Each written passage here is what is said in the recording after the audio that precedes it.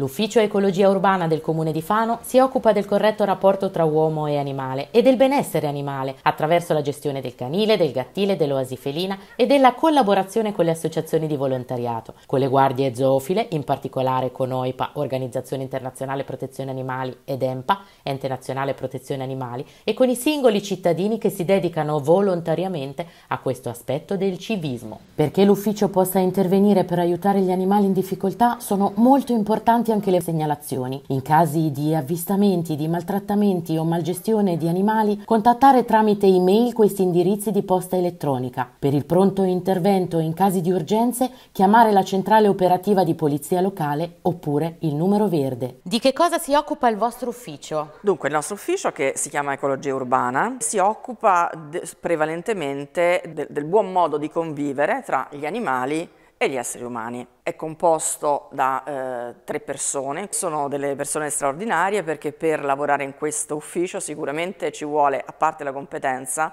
ma anche molto cuore e contestualmente razionalità e tanta pazienza. Ogni specie di animale ha le sue caratteristiche, quindi ha un modo di comunicare, ha un modo di mettersi, di, ha delle esigenze che sono diverse dalle nostre. Facciamo l'esempio del lupo, per esempio, quando il lupo si avvicina, la colpa è dell'uomo. Certo, tutti gli animali selvatici che si avvicinano lo fanno perché hanno un motivo, o più di uno in questo caso. Quali sono questi motivi? Innanzitutto il loro ambiente naturale, che a loro piacerebbe molto di più indubbiamente, che è invaso dall'uomo, è invaso sia con le strade, con i campi coltivati, con la caccia, con, e anche, come abbiamo visto purtroppo, anche con il turismo. Alcune volte eh, questo impatta poi con la tranquillità degli animali selvatici. Quindi gli animali selvatici vengono in contatto con l'uomo non perché vogliano, ma perché ci si trovano, perché cercano qualcosa. Questo qualcosa è cibo e mancanza di predatori per le prede, cioè una situazione che non è quella naturale. Parlando di cane, il cane è un animale sociale e visto soprattutto che adesso ci avviciniamo all'estate, diamo dei consigli utili per l'estate. Dunque sì, il cane eh, è un animale che vuole stare in compagnia in che senso? Che, è un animale che sta in branco, quindi gli, i, i cani lasciati soli nei recinti, specialmente se lontani dalle abitazioni o comunque fuori dalle abitazioni dove c'è il resto del branco, soffrono molto. Si pensa che un cane quando ha da mangiare e da bere, tutto sommato stia a posto, non è vero vero, perché per, la, per, il cane in particolare la compagnia del suo branco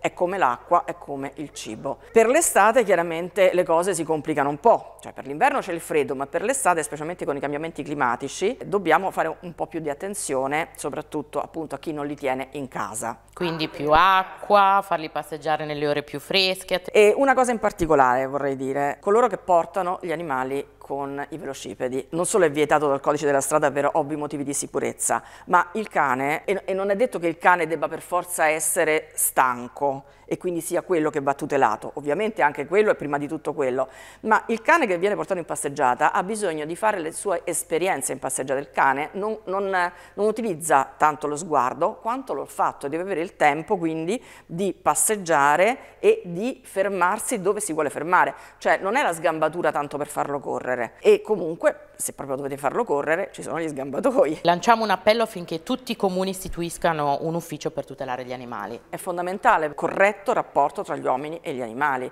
perché gli animali, come sapete, si stanno avvicinando molto di più, con loro abbiamo un rapporto molto diverso da quello che c'era un tempo e è proprio una trasformazione sociale, per cui è assolutamente fondamentale che ci siano delle persone dedicate negli uffici comunali, ma anche magari intercomunali, cioè possono anche mettersi insieme i comuni avere degli uffici che si occupano di queste tematiche che, ripeto, sono a metà strada tra l'etologia, l'ecologia e anche il sociale.